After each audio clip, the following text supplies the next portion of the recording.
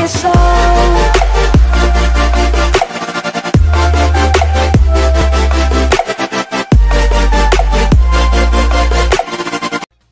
guys, welcome to another One Piece Bounty Rush video.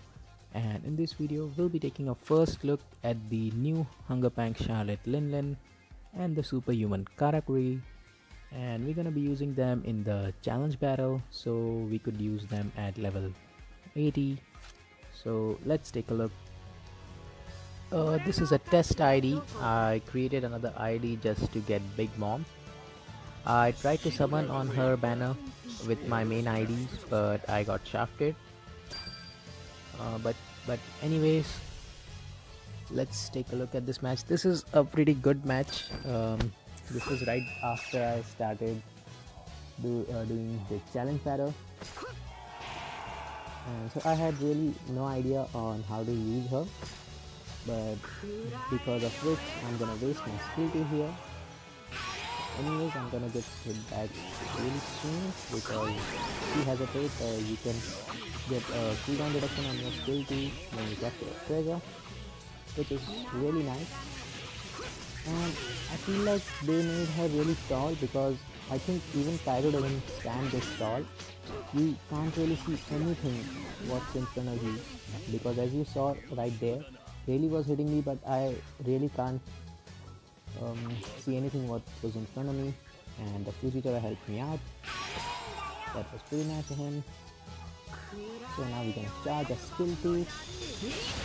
But somehow the X-Drake didn't take any damage.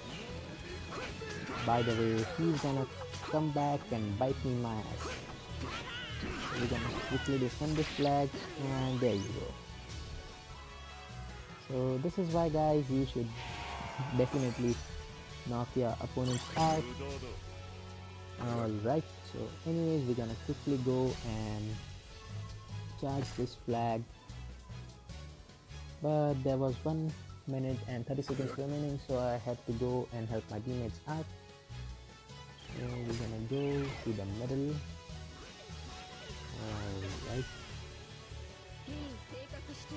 So here you're gonna see Katakuri being a very tanky unit.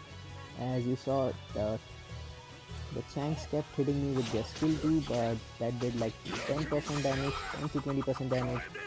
And which I recovered again I think 5% of HP was recovered with the um, skill too because of his character that.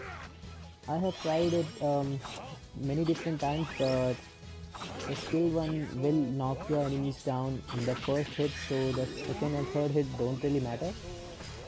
But anyways we're gonna quickly defend this flag.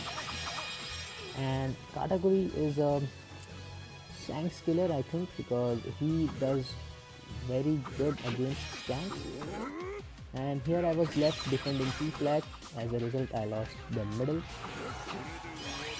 Um, so with my friend my teammate Amaru came and defended the flag. Alright, so we're gonna quickly capture this flag. And I was gonna capture this flag with the help of Kaku he left me. Either way we won.